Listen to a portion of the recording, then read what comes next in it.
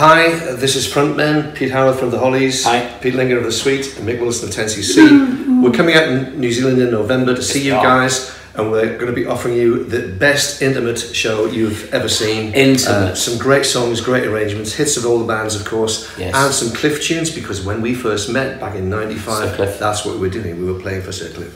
And we'll So- say hi after as well. Every time we'd come down and say hello after the show and uh, sign your body parts, Doodles. probably. Small animals. We do small animals. Small animals, definitely.